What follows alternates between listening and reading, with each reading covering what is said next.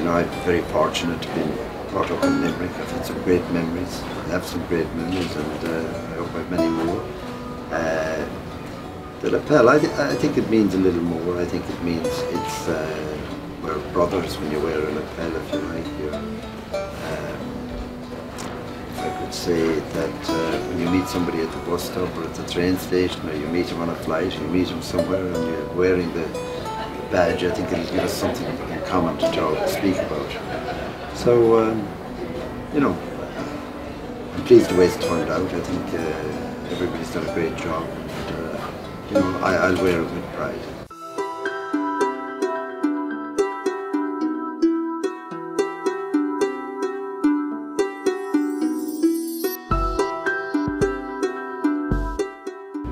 Hi, this is Richard Lynch. You're watching ilovelimerick.com and today we're at the Hunt Museum at the launch of the new lapel pin created as part of the Going for Gold campaign that is designed to instill pride in Limerick.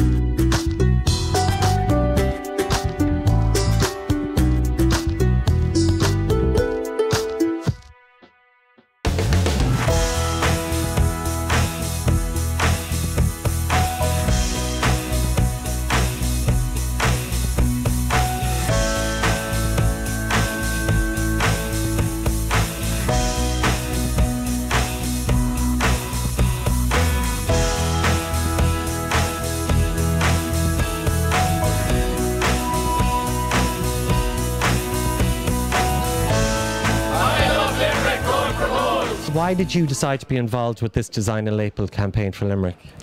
I suppose uh, you know I've uh, always been conscious of trying to help out Limerick in my, in my local area, same as any of the people that are competing in the Going for Gold program are. Um, and uh, you know I think JP does a lot of work as well for the city, and it's uh, it's not a lot of hassle for me to come along today and, and, and say a few words and help out. I think a lot of other people have done a, a, lot more work behind the scenes. You know, it's 700 entries, I think, for the lapel competition as well, which is fantastic and just goes to show um, that the message has been spread and that, you know, there'll be you know, it's, it's 700 kids actively involved in, in designing a, a, lapel that shows pride in the county and the city. So it's, um, you know, the message is getting out there and it's a great program to be involved in.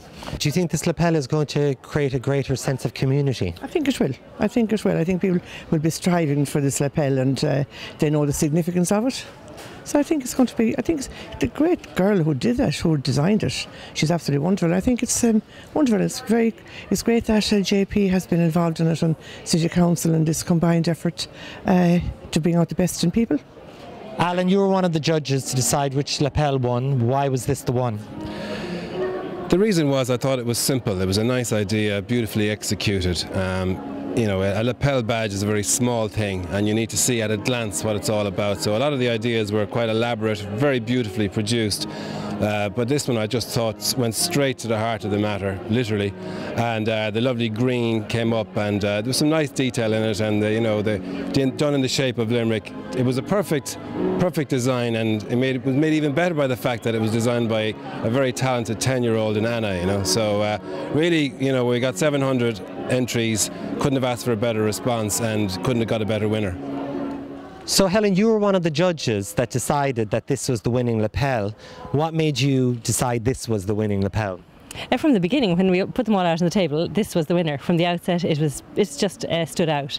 Uh, there's lovely, wonderful um, examples of people's art. Some were very artistic, some were contemporary, some were very traditional.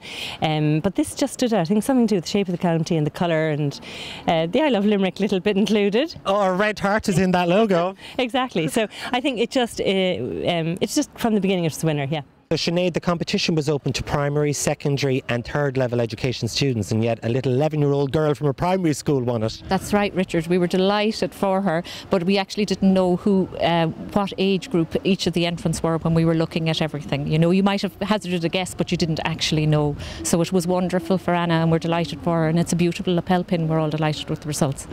And why did you decide this was the winning lapel? Um, I suppose everything. One, it had the beautiful heart saying "I love Limerick," and that's basically the cro- the the message we want to get across. Uh, we want people to be very positive about Limerick, and it's an attractive piece to wear, and it captures the city and county beautifully. So I'm here with Anna, who created this amazing lapel that is changing the face of Limerick and creating an amazing sense of community in Limerick. Anna, how did you come up with this amazing creative concept? Well, I just thought of Limerick and ev- all the basic things I thought in my mind and just put it onto paper. So tell me, what's the significance of the castle and the heart? Well, that's the crest of Limerick, so I put that on and I put the heart 'cause I just love it. And it's great fun and stuff and bright and catches your eye. How important do you think it is to be creative and to be involved with stuff like this that creates a greater sense of community in Limerick? Oh, very important. Very important. And did it create excitement at your school? Oh, yeah, we had great fun and my principal brought me around to the classes to tell everyone. He was very, he was very excited. And are mommy and daddy proud of you? Yeah, very.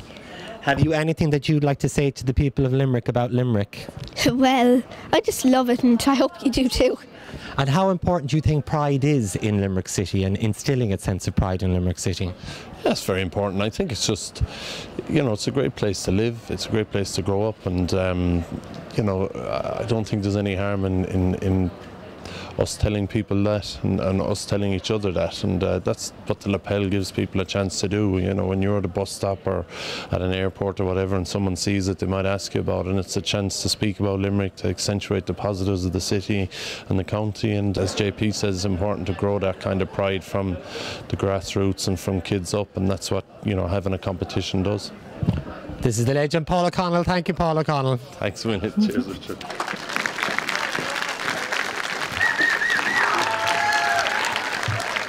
We're here today to launch uh, this great initiative by JP and the Going for Gold team. Uh, the Going for Gold uh, lapel pin. Unfortunately, I didn't bring a jacket with a lapel. Uh, of course, I, wrote, I wore my shirt. I had to borrow a jacket there for the photos earlier, so apologies. Um, it's a really lovely piece of work designed by none other than the 11 year old Anna Kinsella, whom we met today. Uh, she was winner for more than 700 entries. Um, the pin is a symbol that you're a supporter of Limerick. Sorry.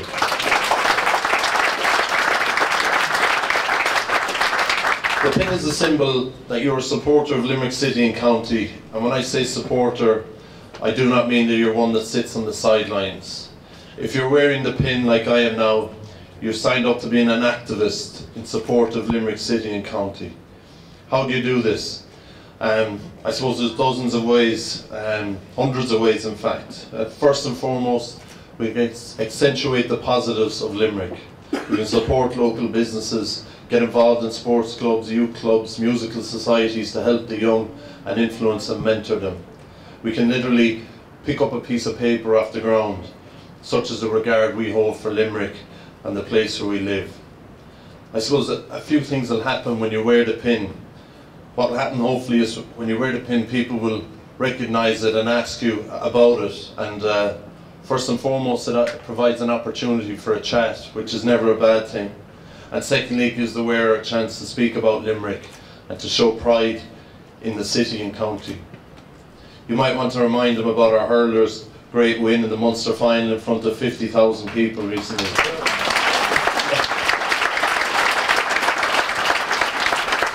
There's a number of things you might want to tell them about the best, one of the best university campuses in the world, our obsession with sport, the beautiful village of Adare, Nancy Blake's, the Milk Market, the Hunt Museum, King John's Castle, proximity to Shannon Airport, and some of the most beautiful lakes in Europe, Thomond Park, Ballyhoura, the list is endless. And um, I think the pin is a nice, unassuming way of letting people know we are proud of our county and proud of our city. We're going to keep improving it, and most importantly, we're a close-knit, tight and united community. So as I said, thanks very much to JP and Nori for inviting me here to, to launch the pin. Um, I hope this is just the start of, uh, or I hope this is just a continuation of all the great work from the Going for Gold campaign, and uh, I hope it's a big success. So thanks very much, everyone.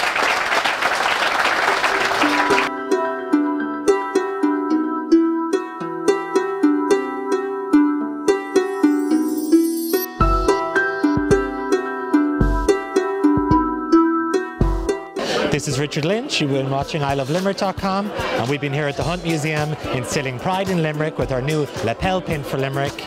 We'll see you soon.